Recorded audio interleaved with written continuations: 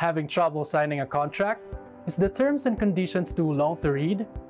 Hey there guys, this is John from Care for Life, a medical equipment distributor based in Metro Manila. Well, in today's video, we will discuss what are the things to look for before signing a contract.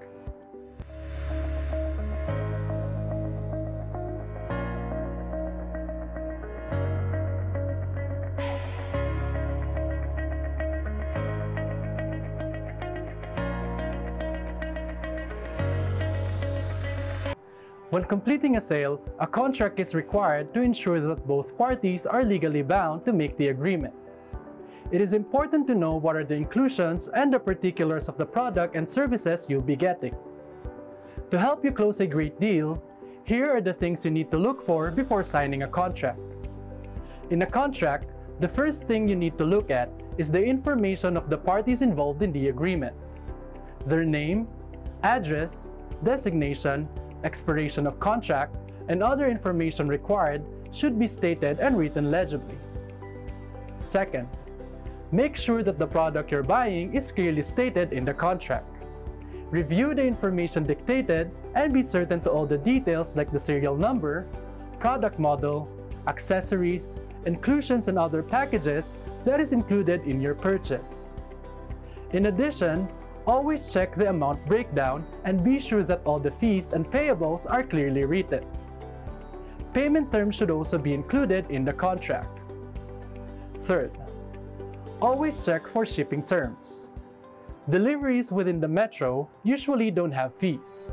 However, provincial and international deliveries have different terms and rates depending on the destination and the size of the packages. Moreover, don't forget to review other shipping inclusions, such as insurance, in case of risk of loss and damages, and other penalties that might add costs prior to actually receiving the item. Next, check for penalty clause. Be aware of the provision in case of violation of contract. Make sure that the conditions are clearly stated and detailed, including interest and late payment fees. In some cases, some companies pull out products from facilities due to late payments. Be informed about the duration and what is covered under warranty for parts and services, including end-user orientation for operating the product, proper installation, and maintenance service. Product damage due to negligence, modification, misuse, alteration, acts of God, and unauthorized repair may void the warranty.